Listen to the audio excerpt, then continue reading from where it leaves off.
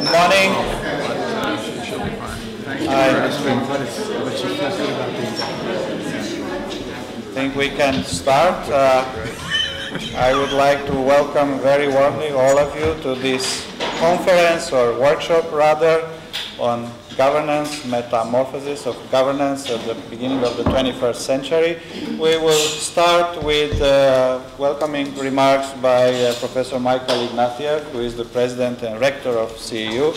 I was just thinking this morning, uh, Michael, I mean, he started about a month ago as president and rector of CEU, and this might be the very first academic event that you are presiding over. So thank you very much for, for joining us. Yes, I think this is my actual debut. This is the moment when I step onto the stage at this wonderful institution. Um, and there's something very fitting about it. Um, uh, this institution uh, is not the creation of presidents and rectors, it's the creation of everybody in the community. But I think it is fair to say that Yehuda Elkana was um, one of the people who made this into an internationally recognized research institution, a community of scholars. Um, if there's a single individual who's responsible for the inheritance that I, I have been handed as the leader of this institution, it's this guy up here. I met him once, um, and uh, in early 2000, remember an evening where what I take away was enormous charm. Wow, you could warm your hands on this guy. Um, and a tremendous, forceful intellectual charisma. And we don't usually associate intellectual with charisma, but he had it. That sense of dynamic purpose in intellectual life. And so, uh, a real model for me. And I hope, I think it's absolutely wonderful that we're uh, uh, thinking in his vein. I think it's wonderful that we've got this new book out. Um, it is on my bedside. I have already uh, been reading it. Uh, this is exactly the book that I should be reading right now because uh, I'm in that blithe state of not knowing what I don't know. It's bliss. Uh, and then I'm going to learn painfully what I need to know and uh, Yehuda's book, ably uh, produced by Liviu and Marvin will help me. Um, and finally, uh, it's a great pleasure to be here with Marvin and Liviu. Marvin and I go back, not a lot of people know this, to 1976 when we were young instructors at the University of British Columbia in Vancouver. So uh, we, we walk step in step through our, through our lives, and he's a a wonderful friend, and been a wonderful figure in higher education in the United States and in Europe, and it's great to have him here. And Liviu uh, is the tradition bearer of this place and the man who at the moment is trying to prevent a young president from making really stupid mistakes early. So you should all be very grateful that he's here, preventing worse things from happening. Anyway, enough from me. Uh, welcome, finally, this is an international conference. We have visitors from Russia. We have visitors from uh, a wonderful country, Israel. We have a wonderful contingent from the United States and from European countries. This is the kind of thing we should be doing here. And so I welcome all our international guests and our Hungarian friends and colleagues and uh, wish you a very successful conference. I'm going to listen for as much as I can, then I'm going to sneak out, but uh, I hope you have a very successful day. Thank you. Thank you very much, Michael. and, and now I would like to invite Marvin Lazerson to welcome us in his capacity as chair of the International Advisory Committee of the Yehuda Elkana Center for Higher Education. Thank you. Thank you. Um, Michael was younger than I was in 1976.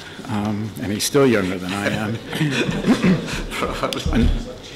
um, but he's getting closer.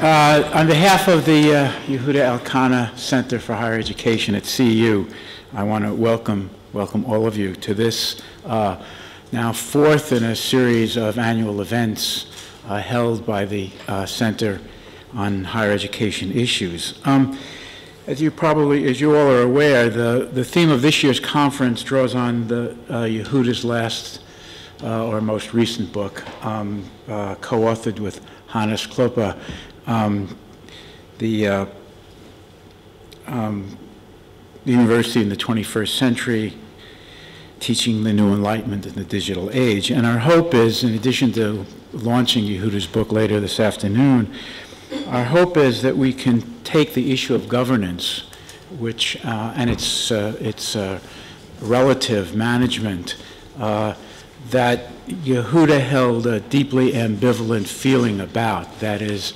Yehuda both wanted things to be well governed and well managed, uh, but there was always this anarchic side of him, uh, impatient side of him that challenged governance and management.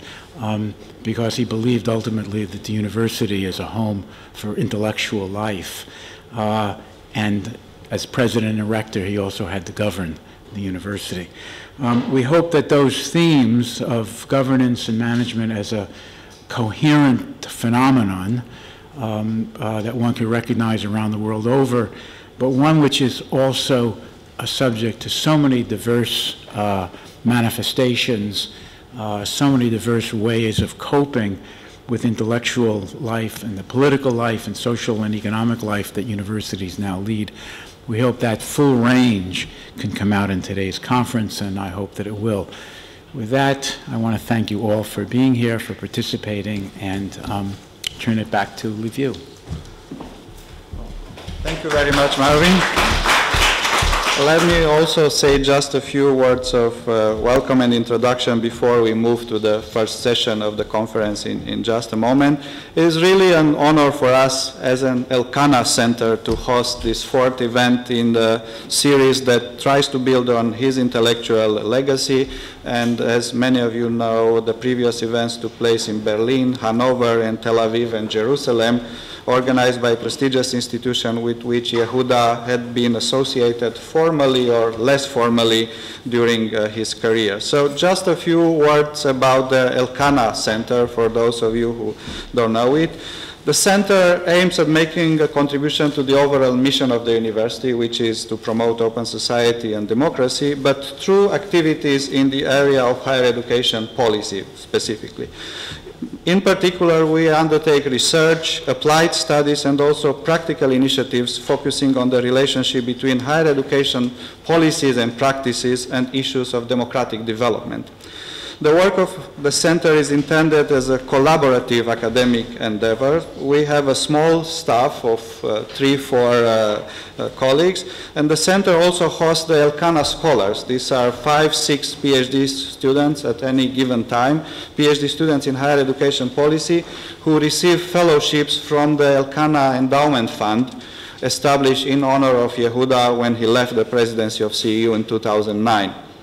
Research, professional training, and applied policy projects at the center are carried out by the researchers of the center and its graduate students, but in cooperation with faculty members from various departments at CEU and also higher education experts from other universities and uh, organizations worldwide.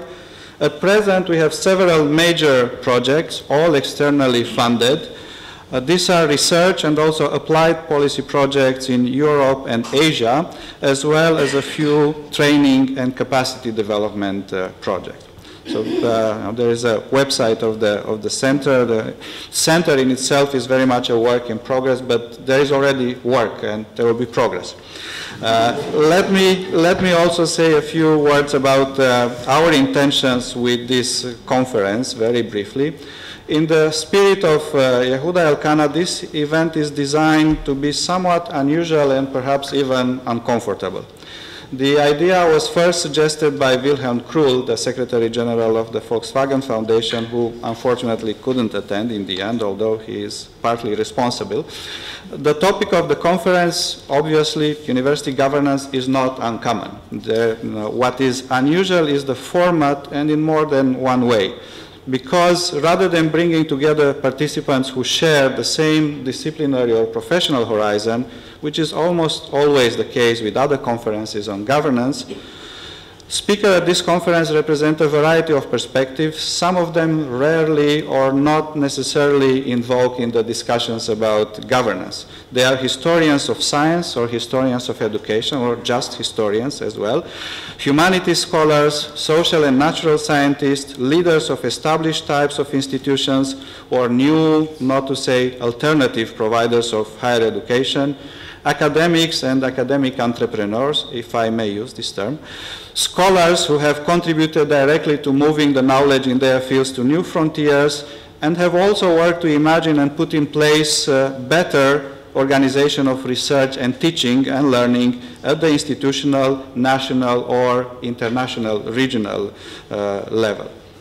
Having historian among us, for example, is quite unusual for a conference in governance because governance is a recent phenomenon, or at least recognized as such recently, dating back to the 1970s uh, only.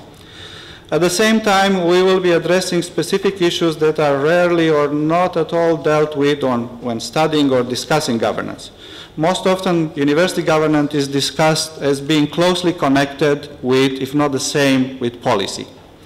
Governance is commonly understood as having to do primarily, if not exclusively, with broad issues such as quality, access, and cost, all important matters, eh, of course. Governance is also very often dealt with as governance and funding together and restricted on final account to issues of funding alone. So what we propose is a few more precise and also perhaps different issues. We will be talking about uh, unusual subjects such as governance of the curriculum, including curriculum for non-traditional online uh, technology-based educational initiatives, governance of humanistic scholarships, or uh, governance of the advancement of education and science. Finally, the conference recognizes that various academic, cultural, and political tradition and contexts must be taken into account when reflecting on issues of governance. It is interesting to note here that the very term governance, perhaps the same as policy, doesn't really exist in other languages uh, than English, except in Hebrew, as I, as I understand. And, you know, because it doesn't exist, rather than being translated, it has to be coined in other uh, languages. It may suggest that the entire discussion about governance perhaps has to do with the recent dominance of, of particular models or types of higher education, or even more broadly, the dominance of particular intellectual, cultural, and political traditions. So in this context, we will ask ourselves if there are any, and then eventually what are overarching or common features of governance of university in radically different contexts such as India, Russia, the US, Hungary, or Israel. Is there anything overarching for all these countries? Governance appears to be an important yet elusive, changing, and uncertain aspect of contemporary higher education. What we try I hope you'll agree, in this conference is to shed some light into the metamorphosis or perhaps metamorphosis of uh, governance. And without raising uh, false expectations or trying to be overambitious, I hope that at the end of the two days we will be able to produce a short summary that would or could outline some key, some key questions about university governance today. What are some questions that we should ask before we go to answers and solutions? Then uh, something about illusions or dangers, both in the scholarship of governance and in the practice of governance.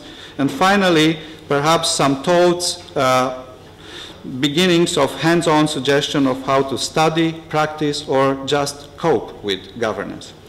Whether we will achieve all this, I don't really know. I am quite know, certain this is not a formal assignment to the participant, as I am certain that this will be an exciting uh, discussion, and I will not be surprised if, again, in the Yehuda uh, tradition, this will be an engaged, reflexive, and also controversial discussion. So thank you very much once again for coming, and I'm looking forward to interesting two days uh, here. Now um, uh, we can move immediately to the to the first session. I will introduce uh, the the speakers very briefly. Before that, I have an announcement which is about university. This university, not about university governance. Many of you expressed an interest in the new part of our campus which is just uh, next door. So there will be a possibility to have a tour just before lunch, half an hour tour. This new building is something between nice and spectacular, closer to spectacular. So I think it would be it, will be interesting to if you if you want to have a tour. So uh, why don't I invite uh, Jo and uh, Gabi to, to join us? We change places if you don't mind, Michael. Yes. And Marvin. Ah.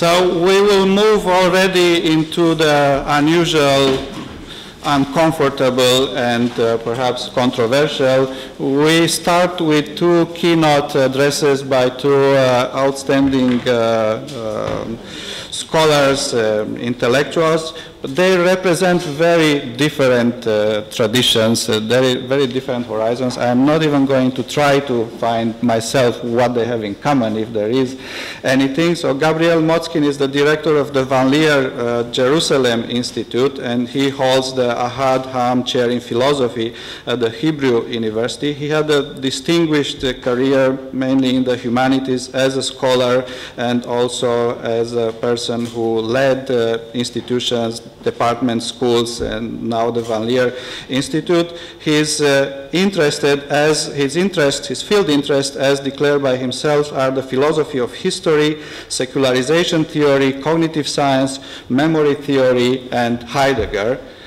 On the other side, uh, Jo Ritzen um, started as a physicist, then he moved into economics, and he also had a distinguished career in other areas of, uh, of higher education. He was a minister of education of the Netherlands.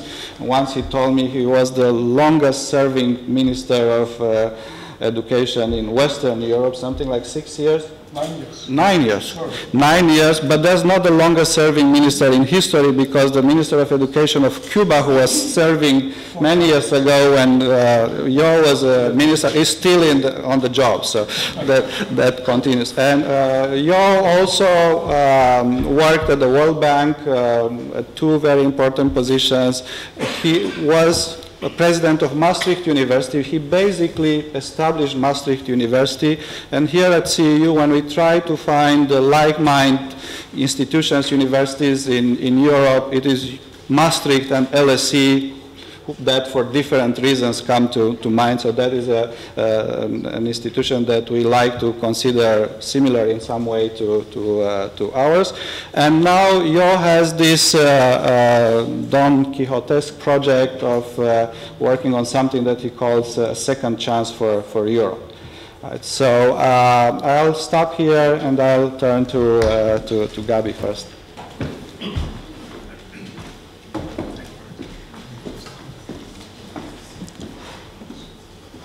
Task I was given is to talk about governance of humanistic scholarship, quo vadis.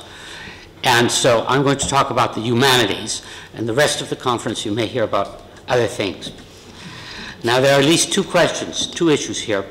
First is that of the historical fit of the university to the humanities. Can the humanities work better in universities or not? And the second is of the fit today between the current structure of universities and the substance of the humanities in the wake of the development of the natural sciences and what that development has meant for the humanities. Now, universities were not founded for the humanities, but rather for fields such as law, theology, and medicine. For most of the university's history, say 800 years as opposed to 200 years, the humanities were conceived as a kind of preparatory study for the more advanced faculty. This study did not include vulgar literature, that means the literature of normal languages, nor did it include a study of the arts. Comparative philology was unknown. So what was left was some philosophy and some acquaintance with the classics. This changed in the late 17th and early 18th centuries, in which some universities adopted for the course of studying the humanities the model of what a gentleman should know. This transition consisted of a change in some of the clientele, from future priests to aristocrats. However, from our current perspective, the real change in the humanities, the significant one, occurred as a result of the change in school education that took place in the 1810s and 1820s in Prussia. Namely, the idea was slowly introduced that people entering the university should possess a high school diploma, an abitur. In turn, this development led to the academicization of fields which were taught in high schools. Only then, only after that, was the research ideal introduced into universities, i.e., the idea that academic promotion depends on research achievements. This occurred first in the 1830s. This academicization hit the humanities first, even before it impacted the natural sciences, because there was no matriculation, no Abitur in the natural sciences in Germany before 1900. Hence, these academic research achievements in the humanities seem to be especially great in the 19th century. The natural sciences have a very different organizational history, one which also began in the 19th century and one which affects universities right now. Namely, research in the natural sciences, the empirical ones, requires laboratories for experimentation. These laboratories need to be financed. At first, this extra money came from the government, and late in the 19th century, this extra money began to flow in from business. Experiments in laboratories were not only expensive, they were also collective. One cannot run a series of experiments without a team. It turned out that the mode of financing that eventually became obsolete was that of the humanities. In the humanities, professors drew a proportion of their salaries from the state and a proportion from student fees which were paid directly by students to the professor whose course they heard. Junior faculty members were not financed by the state. They were financed exclusively by the students' fees that students paid directly to them. This system had many consequences, but the one I want to focus on here is that in this system, research had to be individual since teachers were paid individually. Now, this conclusion is not quite 100% accurate, since professors were wont to assign as seminar research topics for seminar papers the drafts of their chapters in their current book projects. Form of behavior that can help explain why 19th century professors in the humanities were so productive. However, this method of work had little in common with the team research that developed very early on in the natural sciences. One further point that you have to keep in mind is that in 1914, on the eve of World War I, only 3% of people born in a given year studied at universities. 3%. The system that had developed still bore traces of its aristocratic origins and resembled nothing so much as bespoke tailoring, i.e., an intellectual attire made to measure for distinct individuals. In this system, the question was not only one of what the humanities contribute to the progress of research or to society, but rather the reverse question of what the humanities contribute to the enrichment and growth of the individual. Preference for the natural sciences was already discernible in the 19th century. While positivists definitely thought that the future of humanity depended on progress in the natural sciences, in the natural in sciences, neo-Kantian like Wilhelm Windelband distinguished between the individualizing and the generalizing sciences, the humanities being classed as individualizing sciences.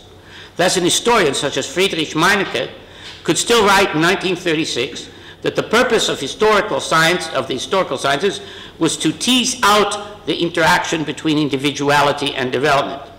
However, his emphasis lay on individuality, on the idea that the purpose of research in the humanities was to unveil individuality. This goal, however, was inherently elusive because of the idea that the individual is ultimately ineffable. We don't know what it is. After World War II, the humanities fell out of reason, favor for two reasons. First, the perception was current. The training in the humanities had done nothing to prevent Germany from descending into barbarism. Hence, while the aesthetic pursuit of the humanities might continue to have some values, the humanities seem to have been delegitimized in terms of providing any moral or political compass. The second reason was the speedy development, and this is key, of mass tertiary education. You know, 30 to 50 percent of people today study in universities. Not only were the humanities perceived as not providing the glue that could stick a society together, the methods for teaching the humanities that had been developed for teaching the humanities to an elite were not easily transferable to teaching the large masses of students who now sought to acquire a university degree. In the conflict between the two cultures, the natural sciences seemed better able to acquire and maintain social legitimacy. First, very few people understood how the natural sciences actually work. Very few can read scientific publications. This inherently esoteric nature of the natural sciences made it possible for them to preserve their status, especially when coupled with their ev evident practical power. The natural sciences could both save lives and build bombs. Like the priests of old, they seem to possess the power of life and death. The humanities confront two possibilities. Either they can continue to be the distinguishing mark of an elite, or they must be converted into a palatable and desirable form of mass education. Both are problematic. Moreover, it is not clear that both can be done at the same time. The problem with an elite education is that this kind of distinguishing mark can only be effective in a situation in which there is a clear ruling class. Moreover, this ruling class needs to be one that is sufficiently secure so that its distinguishing mark differentiates it without any reference to the usefulness of such training. In this model of society, most people would have little knowledge of the humanities. The masses would be technologically adept, but the elite would, as it were, be able to recognize other members of the elite through, for example, having studied Greek, as was the case in 19th century Germany. Such an elite would be one that is formed early, since the masses would have little opportunity of acquiring an elite education. This model might be good for the humanities, but it would be one in which the usefulness of a humanities education for a democratic society would be strictly limited. Moreover, the question arises of why specifically the humanities should serve as the elite's mark of distinction. Why not business school or law school? This model would only work if society as a whole would think that there is an inherent advantage to a humanities education, even if it does not possess one oneself. Therefore, in this model, the elite would need to convince the masses of the values of a, value of a humanities education, somewhat analogously to the present conviction that the natural sciences are useful for society, even if one has no idea what they do. The other idea, which is that of watering down the humanities so that they can be accessible to a broad swath of the population, has been tried, especially in the United States. The problem here is that at some point, a humanities education begins to look like a popular science magazine, i.e., illustrated science without equations. That indeed has been the post-war fate of humanities education, in which requirements first for classical languages and then for any foreign languages have been progressively abandoned. The idea here is that humanities texts contain an essential content that can be disseminated irrespective of the medium. It should be clear that such an approach gets rid of any textual or philological analysis, since such democratic access to texts means approaching them through paraphrase. When I was a kid, there were comics books called classic comics, which included, for example, you know, little illustrations with the Iliad and the Odyssey. I was thrilled by the plot, but I wonder how much I understood either of what Homer was trying to convey or of the world that tried to serve, uh, that served as his context. Moreover, this approach draws a line between esoteric disciplines and exoteric disciplines, between studying Akkadian and analyzing democratic theory.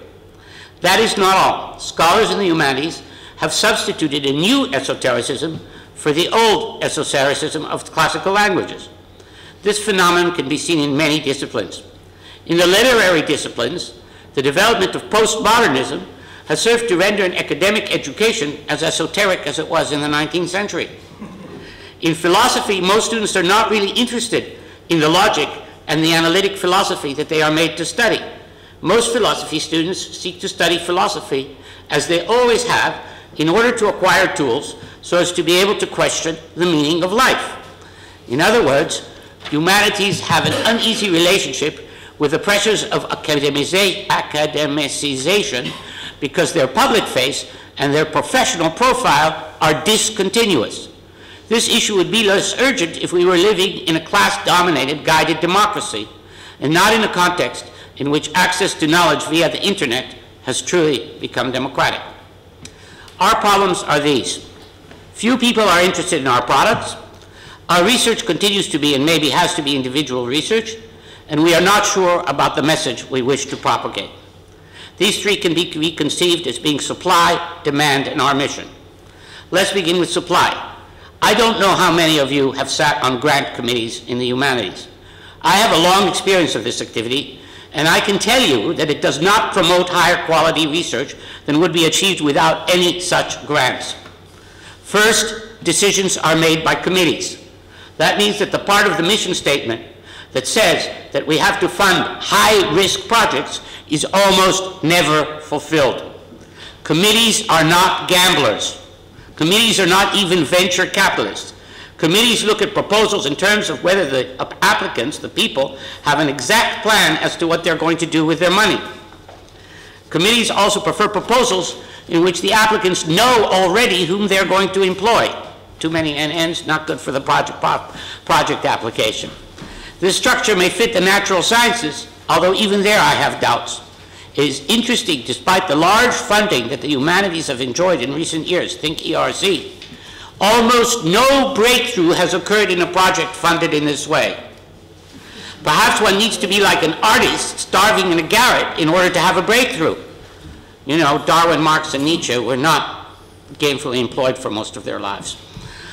Moreover, this system is really a kind of unemployment compensation, as the people to whom the money is given are graduate students who presumably otherwise could not support themselves. Being a graduate of grant funding is like being an apprentice in a medieval craft. Grant-funded projects work, train workmen-like people who produce decent work, but there is nothing inspiring about most of the work. Moreover, when a project is interestingly high risk, some of the external evaluators will always be against it. Just as in the natural sciences, truly interesting work is inherently controversial. In other words, we need more funding for individuals, and that funding should totally ignore their previous track records. Listen to that. Totally ignore their previous track records. Very important. Moreover, it does not require a great deal of money in the humanities. Few people are interested in our products because the system of the 19th century has disappeared. At that time, humanities scholars basically taught future high school teachers and future government bureaucrats. Legend has it that one needed to know some Hegel to be accepted as a government bureaucrat in Prussia. The point is that people who became high school teachers or government bureaucrats were already members of an elite. The rise of mass education and universal high school education has drastically reduced the status of high school teachers, and the development of market capitalism has not helped the status of government bureaucrats. One of these developments is irreversible, and the other is not.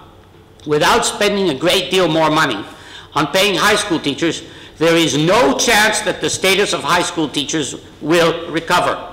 We will not acquire status by teaching high school teachers nor will the subjects we teach become more desirable. That conclusion is not true of the state bureaucracy for a simple reason which most people don't realize.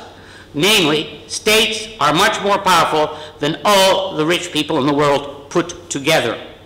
The richest individual on earth may have an income of $3 billion a year. But that is meaningless in a world in which governments spend, big governments spend in the trillions of dollars. It's infinitesimal. The people who decide the allocation of government monies are truly and perhaps frighteningly powerful. However, these people tend to come from the social sciences, and they sometimes know as little about the past or about esoteric cultures as do the people who populate the natural sciences. Hence, we need to think carefully about who the elite of the future will really be and why our training should appeal to them more than other competitive products in the training market. The key point, however, is that we are not sure about the message we wish to disseminate. We are not sure about our mission. In the past, the humanities served many different functions in different societies. Emphasizing the classics could meant, meant holding up an ideal society in which students could imagine themselves and thus teaching them to think about the ideal society. The 19th century American ideal of the Christian athlete meant that one should strive for some kind of harmony between the body and the mind, i.e., between material conditions and the spiritual quest. In some societies, the humanities served a democratic purpose, for it was one path through which smart, excuse me, smart boys could get ahead in a highly stratified society. In recent year, years, one goal that has been articulated is that of teaching critical thinking, i.e. teaching students to be permanently unhappy with their societies or their rulers. The problem with any of these approaches is that we do not approach them coherently. For example, postmodernism or deconstruction may be interesting, but they have little to do with teaching students to be critical participants in their societies. Finally, a word about context. Production in the humanities in late modern times has often oscillated between the academy and that part of society which we call the bohème. The idea here is the true novelty is generated by free-floating intellectuals who are not attached to any framework and yet rather dedicate themselves to fusing life and art. While fascinating, this ideal has actually become less conspicuous in late capitalism, perhaps because of the concept that, that one consequence of late capitalism has been to decentralize the world so that nowhere do we find the constant but self-selected sociability of 19th century Paris. I am not sure that social media remedy this decentralization, although it is too early to know how the communications revolution will affect the humanities. Digitizing sources implies that there exists a virtual community that is obsessed with Akkadian. Certainly these developments are not only ignored by the press, they are invisible to most scholars in congruent fields, for one has to be in the know to be part of the specific community of interest. The humanities will survive. It is not true that there is a worldwide crisis. More is published in the humanities than ever before. Hundreds of thousands of papers every year. Try reading them. The real question is whether the humanities can or will have any effect on society at large and what that effect will be. We cannot leave this issue to the natural scientists or the social scientists, for neither group has knowledge of the human past, and consequently they can have no idea about how the human past may be relevant for the present and the future. Thank you.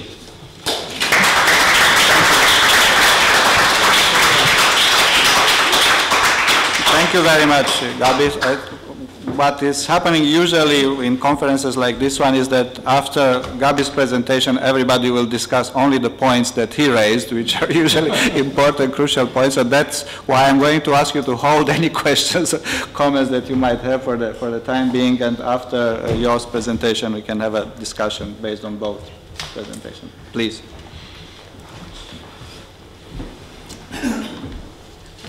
Thank you very much. So the first thing I have to do is to resist uh, to comment on uh, the previous speaker. And actually, I'm not going to resist that. I'm going to address that. So, Mr. Rector, um, welcome to uh, Central European University as, I think, one of the places of light in this world and one of the best places, I think, in terms of universities and what they have to contribute. Also with a tremendous burden uh, on its shoulders, indeed, to keep it alive and to carry it forward. And actually that's the spirit in which I very much met uh, Yehuda Elkana. Um, I just had appointed, like you have been appointed now, I think also for uh, two weeks, when there was a meeting in Maastricht of the European University Association, where Yehuda Elkana spoke and actually, I should ask you what he spoke about, because there were three catchwords which Yehuda always spoke about. So, what was it? Complexity, living in a complex world. So you immediately recognize that. I mean, when I talk about Yehuda and complexity, then immediately people say, yeah, yeah, that was. The second, of course, doctoral education, uh, and particularly this very firm view that doctoral education had been almost left to those who had an interest in keeping it in the present state for themselves rather than for society. Maybe I'm um, putting it too strongly, but I think that was basically his theme. And okay, um, I tried very much to look at his face, which is always, he looked always at society a bit like this way, a bit also ironic, I would say. Um, and then, of course, the third was curriculum. And this was something which always shook people because they never understood what curriculum was. And um, I think you would like to keep it that way because he used curriculum in the sense of what others used, and I see this also in the book, as output measures, as something you would want youngsters to develop into, what they have to acquire. And it's not a fixed basis of knowledge. That is something which he quite often intimated, and many people understood. Uh, curriculum is about what you have to learn in knowledge. No, but when you also look at the book, he very much takes the example of uh, the Amsterdam uh, college, uh, the University College, I think, which is also, by the way, a very good example of how teaching in universities should take place. But then he refers to curriculum very much in a different way, which is um, very much learning about complexity, the world, uh, in a not interdisciplinary um, and that was also something in which he was very strong. It's not about interdisciplinary. It's because interdisciplinary is overloading. Interdisciplinary is not the right word. He very much calls it integrative. Uh, Hannes, I think you will have even more to say on that. But his, I very much wanted to start with giving um, you my view of how he inspired me with, on enlightenment. Um, and here, this is, I find this very interesting because we never had a discussion, and I never read anything from him in which he clarified what he meant by enlightenment. But what I surmised all the time was very much that it is about releasing individuals from religion and autocracy. You might almost say from the autocracy of religion and autocracy in other forms. And I think he very strongly lived through that, uh, also um, from the fact that he was born in a special religion, and that as a result of that, he was persecuted. I mean, it must be a tremendous surprise because he never um, had thought that that would be a possibility. And from there on, I think he took also even a stronger dedication to this notion of building a society and you might say governance and a state in which people would be saved from religion, the autocracy of religion, and autocracy uh, in itself. And I think, I believe that that was a commitment, and then the connection with universities, in my view, is a very logical one, in the sense that, and you mentioned that also, I think very strongly, universities, whether they want it or not, are training, are leading towards an elite.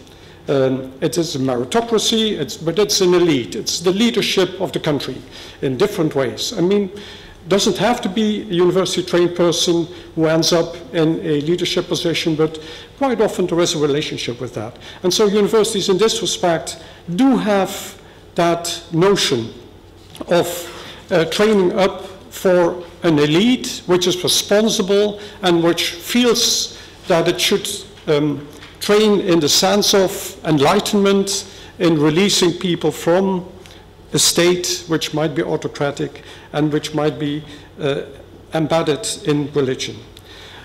So that is where I started actually. Um, and you must have questioned yourself, what is he going to talk about? The rightful place. Well, actually, you see already something emerging from what I'm saying. So universities should claim their rightful place in the sense of being, having a tremendous responsibility with respect to the training of that elite. And at the same time, and I think also you intimated that, um, universities do not always know what they are actually in for. And in that way also can't claim a place if you're not in for something. Uh, then of course you can't play, you can't claim a place. And also subsequently, you will, may not demand for the right governance. So claiming the rightful place is the way in which I describe uh, my own quest uh, in which I've been dealing all the time with university governance. I've been dealing with it uh, in an indirect way when I was a professor. I noticed there that I didn't like the way in which our universities, and that was in different universities in the world, was actually also in Berkeley, different universities, um, in the Netherlands, uh, uh, other university in the UK, um, and I didn't feel really like we were in the proper state. I didn't know actually what to do. I mean, I knew I had to teach a, a topic, but what it was about in terms of the final goals of teaching was not something which was very much a discussion, and it definitely was not in the governance structure. So this is the way in which I very much want to, right, then continue the uh, discussion here. Um, right, yeah. So my discussion will then go as follows. I would say that we do know what universities do um, in many respects. Um, and that has been clarified, I think, through a lot of research that universities do have education at large, but universities also are raising, and here you will see my different entry in topics from my own uh, upbringing as a physicist, but very much liking to be an integrative scholar, uh, like to contribute to society by raising the competence of graduates to act responsibly, compassionate, and engaged. All right? Would you say that you would agree that that is something which universities should do? Okay. I would like you to go to any professor and ask that professor uh, what he or she is doing. I think very few would answer in this way. So this is something in which I believe also universities are not really, I mean in Maastricht, I hope you would find one or two, but I don't know whether that is something which permeates. It's also something about the dialogue which you have within a university, uh, where uh, in many universities there is a possibility to discuss what you're in for. I very much liked the way in which the new rector, who was just appointed, a 35-year-old lady, um, who comes from the law direction, she, she said at her entrance, I want very much to talk every day with the professors about what are we in life for. We are not here to teach our topic. We are here for something which is larger than that. And of course, teaching our topic is part of that. Now, on that first part, I think there is, uh, well, I think universities are not so clear about. The second part, I think that is becoming clearer and clearer, although also not as well expressed. That is, the economy is served by raising competencies through education and by delivering new public and private knowledge. So that's definitely something where universities can claim a place. I'm not always sure also whether they do that, but that is at least clear, and I think many professors, teachers in universities, leadership will indeed agree with that. And then, from there on, we know from empirical studies, so that's, a, say, a step towards claiming the rightful place, that universities do much better if they are well funded and more autonomous. Now, on the funding, everyone knows about the funding in terms of the place uh, on the ladder. Yesterday, I think the new QS rating of universities came out. I've done some research and has been published nicely in top journals even, that your place uh, on the rankings is completely related to the funding. With uh, 1% extra funding, your place will go up 0.3% if you take into account the uh, reverse causality. So, I mean, the causality in the sense that better place also pays you more in university. So, funding is important, but I'll come back to that. Also, to on autonomy, because that's an easy catchword in which I think you want to have some depth. And then from there on, the next step is, so we know what university is, so I, I take it that there is a pedestal which the university can claim, um, contributing to society in terms of the, you might say, value added in terms of attitudes or behavior, competencies, uh, then also knowing that that is better served with better funding and more autonomy. And then in most universities, the social contract between universities and government uh, is not really very much seductive to fulfill that role. It's not a pedestal, uh, the social contract. The way in which governments act around education is party political, is, some, is quite uh, say, you might say, uh, difficult to see how it, the consistency is there.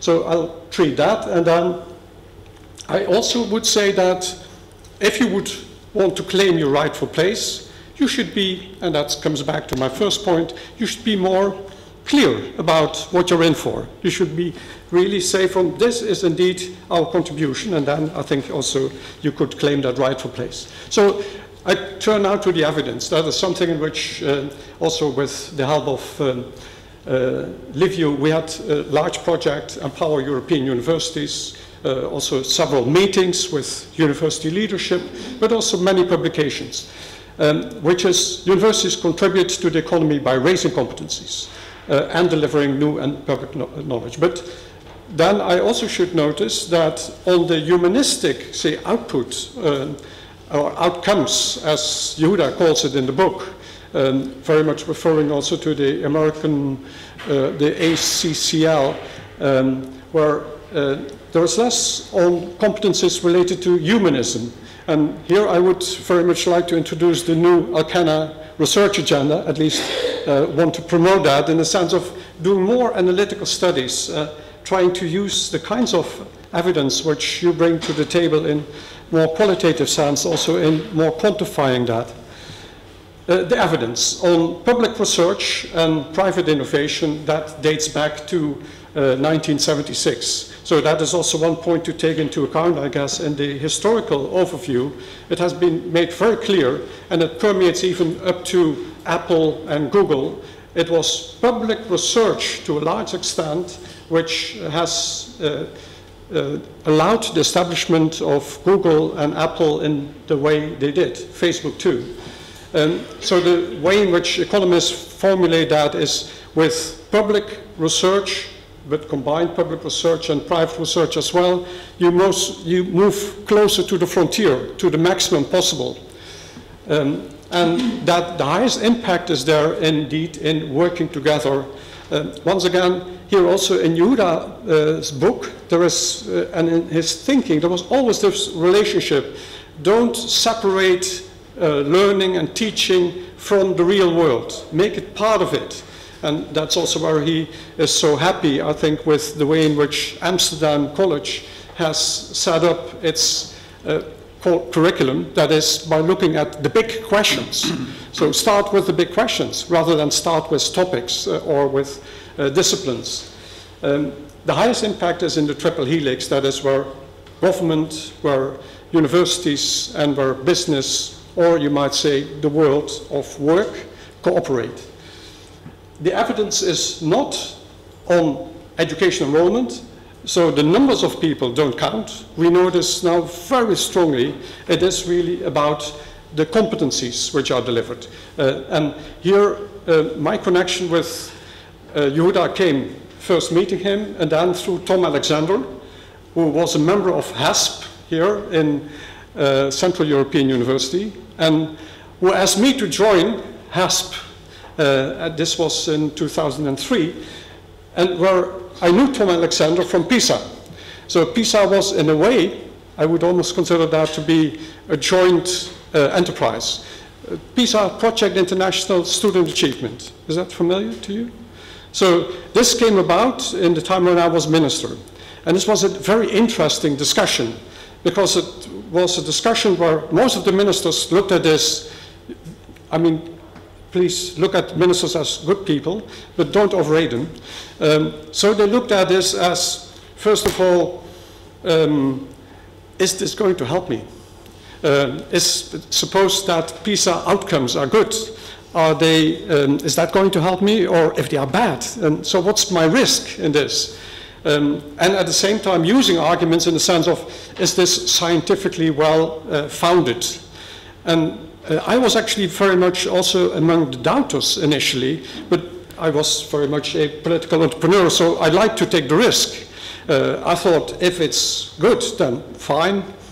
Actually, if it's not so good, then I can make changes. So I love the notion that I would be evidence-based in my policies. I should say I never really was a member of parliament before I became a minister. I was drawn from the university to become a minister. So that makes you also kind of a different animal in politics in the sense that you can take more risks because I could go back to the university if things would fail. I was interested in, say, the substance and not in the position in itself. Um, so PISA, Project International Student Achievement. And I'm talking a bit more about that because I believe that already then the discussion was to what extent are these measures reliable? And these are proxies on competencies. But um, suppose you would add something in terms of, uh, or you would say, change the way in which things are measured, do you get very different outcomes? And so initially already we had three different outcomes. Um, but then also uh, there was later on PIAAC, the Project International Assessment of Adult Competencies. This is not about youngsters. PISA was about 15-year-olds in secondary schools. And it's now in 65 countries, uh, very much giving an impression of where, what the state of uh, the uh, country is with respect to primary and secondary education. PIAAC is about adults. So what do adults know? Well, no. What are the competencies of adults in um, numeracy, in literacy, and also in problem solving in a technological environment? That's the way it's framed. It's done in two hours of questions, and it's very well validated. I mean, those who believe that these skills are, well, are just grabbing something and maybe not so relevant, uh, I mean, I'd like very much to refer them to the elaborate literature in which you can see how strong they are. Now, the one thing is, this is all about competencies, numeracy, literacy, problem solving, and not as much about uh, the humanistic side, the behavioral side. Um, and so in that respect, I think there, is, there are still questions on this. Now, on universities, we found then that if you take public expenditure on the one side um, as a percentage uh, of public expenditure per student divided by GDP per capita. That, that's a measure to, say, have purchasing power parity almost. Uh, so you take into account uh, what the power is of a country to finance higher education. You look at that, and you look at graduate numeracy. And graduate numeracy is something which is um, very much related to literacy and also to problem solving, as all of these measures seem to be strongly related on the individual level, um, and definitely in the larger group. Then you see, although it's not a perfect fit, but uh, so it's not the only thing. There are many other things which count. But you do see that with more public expenditure, you see that graduate uh, numeracy increases. So the interesting part, of course, is to see can you explain also the deviations from the line? And indeed, you can. I mean, there, uh, it turns out that it's really a significant relationship between funding on the education level. So this was actually one of the first things on research and, uh, say, uh, economic uh, activity and economic accomplishment. There was a lot, but on education, this was one of the very first. Um, research productivity and autonomy done in terms of what have funding and autonomy.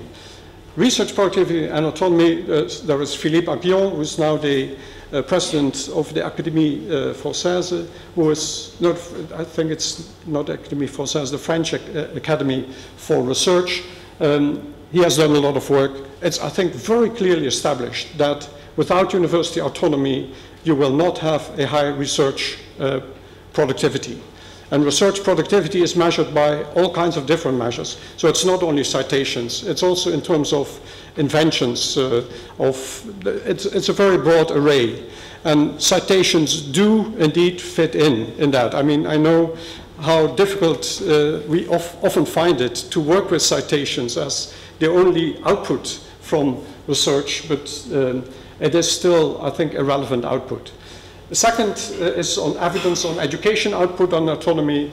Um, then uh, there is uh, quite a bit of research by Horo and others. There's evidence on research productivity and funding, lots of it. I mean, research productivity is very closely related to funding.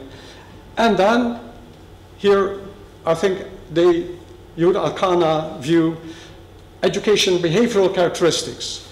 Interestingly enough, the new literature here doesn't come from the humanities. It's all from economists. Heckman, a uh, Nobel Prize winner in econometrics, found this amazing that he couldn't find anything in this direction uh, among the sociologists, the psychologists, who actually, psychologists definitely have done quite a bit of work in establishing scales for measuring behavioral characteristics. But uh, so Heckman started to look at this evidence and I think has made a very strong statement. Yes, it counts how you organize, how you fund, and also how much autonomy you give in order to reach, uh, say, changes in behavioral characteristics. Behavioral characteristics like civic engagement, like um, uh, the way in which people devote themselves to society. But there was also Schuster, who looks at this specifically for Australian University, and who finds that indeed people change during their university. And Segers who looks at this for German universities, but doesn't come to the same conclusion. He says German uh, students don't change too much. And then the question is also, does this have anything to do with the way in which education is organized? Um, systems with the highest return for a country uh, so university autonomy, uh, autonomy leads to more competent uh, graduates.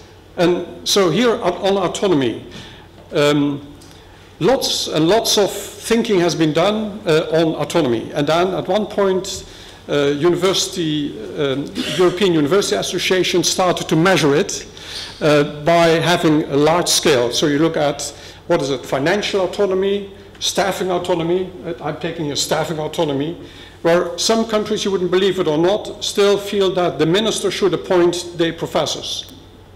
At least the skills or the numbers of people who are in But for a long time, still in France, the minister would decide who would become a professor in Toulouse.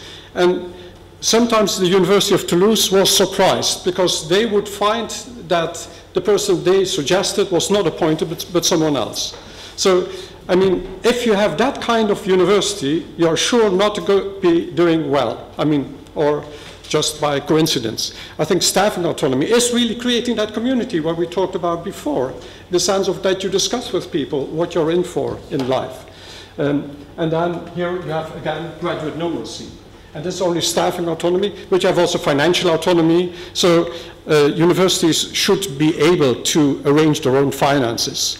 So this has been a long debate in uh, Europe. In, uh, most countries are still in the state where the financial regulation is very strong. Uh, so as a minister, I changed that all around. Uh, and so universities are completely independent. They can borrow whatever they want.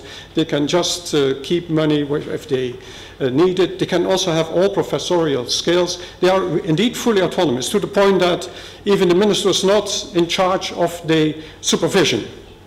Why should a minister be in charge of the supervision in one way or the other? The minister should be in charge of the quality control, should make sure that the university deliver according to um, the rightful place, eh, to where they are. So that is then about creating consistency between goals and means. And so I've had that experience, having been there for uh, a long time, uh, because changes need uh, indeed a long time of preparation and discussion. Uh, social contract needs to be revisited in most countries in order to restore that consistency between what we want, which is humanistic values, and value added. Value added in competencies for, say, the labor market, uh, and the way in which the governance is constructed. And we know that the governance should be one with full autonomy, but of course with the counterpart uh, of quality control on output. But then also that should be something to be measured. That's my next point. Now here uh, something arises which um, I think the Netherlands has been fortunate, um, if I may say so, for having kept me uh, for a long period. Um, but uh, many countries, and particularly in Central and Eastern Europe, their universities complain. So uh, we have a minister, uh, the minister changes everything, and then a new minister comes in from the opposition party and undoes everything the person has done. Putting the universities in an impossible situation because any change in the university takes time, takes five to ten years. A university likes to have a long-term vision. I mean, any, I would say, goal-oriented organization has to work along a long-term strategy. And so this doesn't work uh, if you want to have that. I'm talking about Central and Eastern Europe being extremes. In Lithuania, they complain average period in office of a minister is no more than two years. And every minister starts with a completely new agenda. And every time the um, rector has to come to the minister and gets the list of points to do. And so this is just something in which uh, politics should realize that it's different. But now, Lithuania, Germany, North Rhine-Westphalia, has done exactly the same.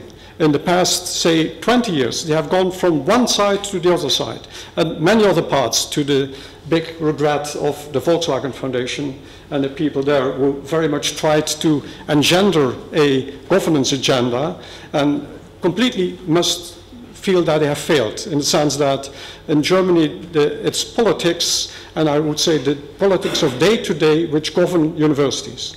And even in the Netherlands now, I see that this is permeating. So we have elections. Three of the election programs uh, I've been very closely connected with. Uh, three different parties, two in opposition, uh, one in government, and all three have all kinds of new ideas for a new period uh, on universities. And none of them should have that uh, in order to indeed serve the rightful place. So that is the place where universities can do the right thing. And so in that respect, I think we need to have a kind of a new commitment. Now, here, the, something also you said, but then also universities should know what they are doing. That's what your strongest point. And should make, indeed, claim the rightful place. Um, so that is, indeed, in my view, well, my translation is AHELO. Does anyone, please raise your hand if you know AHELO? Uh, okay. right. Yeah, there's a second one. Yes. AHELO was the huge project um, of OECD, actually as a sequel very much to PISA, Project International Student Achievement. It was about assessing first um, the competencies of graduates, and well knowing that that could be done. And then there was an experimental stage, and people loved AHELO uh, in that experimental stage. Also, things went wrong, of course, that's part of the experimental stage. Much less with PISA. With PISA, I've been involved with both. PISA, much more went wrong. But then AHELO was attacked by whom? The American government and the British government. No, not by the governments. It was attacked by the universities. Um, the American universities, uh, the top American universities and the top English universities were actually not, didn't want to take the risk that their value added in education was going to be uh, really so important. Of course, value added, um, that would be the second stage. AHELO would be a first stage measuring the outcomes uh, on an international basis comparatively. And once again, it can be done, it has been shown. The students loved it because they said, all of a sudden we didn't get the normal exam questions. We got really something quite different about what we should have acquired as skills. And they liked that very much. Of course, it was not a high stakes test. Eh? So this was, so um, I think universities should be very clear that they do want to have something measurable. Um, and it doesn't have to be on, say, a high stakes level, but on a, you might say also on a, uh, of a group of students which are selected, pre-selected, and uh, at the start and also at the end uh, when they uh, are graduating. So let universities be sure about the value added. And once again, American universities, the top, MIT um, and also uh, Harvard, didn't trust themselves that they were delivering high value added in learning. Huh? So they are sure about their standings. MIT, again, number one. Uh, uh, so they don't want to lose that by being looked at from the teaching side. So societal demand is for inter intercultural understanding, for tolerance, for civic engagement. This has been one of my big things also in Maastricht. Um, let's measure what happens. We have 50% foreign students. Let's see how that works. And it doesn't work by putting the students together. There's nothing changing in intercultural understanding. You have to spend specific attention to the notions that all of the students in the classroom or in, that's in the tutor group, because it's all problem-based learning, uh, that those have different backgrounds. Um, then labor market of tomorrow, here it's a slight comment on the book. Um, it's also, I think it's your uh, citation of Larry Summers. Well, citing Larry Summers, well, I always cite him also on many aspects, but he, it's cited too easily that we don't know about the future labor market. So and, that's not what you're saying in the book, but it is something like, um, well, uh, everything goes. Uh, that's not true. I mean, we know a lot of things about the future labor market, that it will be more uh, on um, the problem solving. I mean, that has been a trend for the uh, past years. More on entrepreneurial mode, doesn't have to be entrepreneurial in the sense of establishing an own firm, can be social entrepreneurial, can be also entrepreneurial within an enterprise or a group, but very much the self-working person and recognizing complexity. I think that is very much something which is important, and interdisciplinarity or integrativeness. And then, of course, against the background uh, of the measuring of value added, and being also transparent about the process and the output quality. So this leads me to this Yehuda Elkana research agenda. Um, this uh, Liviu always is in for surprises when he meets me. Um, I would love to see a research agenda very much based on measuring variables related to universalism, humanism, measuring it. I mean, um, maybe many comments can, you can make on it. There are actually partial measures like internationalization, intercultural understanding. A lot of work has been done on that, uh, has been shown to be pretty robust. But look also at the relationships between education input, how you teach, how you organize yourselves, of course, autonomy, but also very much in terms of more details, problem-based learning, other ways of uh, uh, also um, technology, uh, and look at added values in those uh, measures, and in that way bringing the humanistic on par with the economic in that quest for the rightful place. Thank you very much.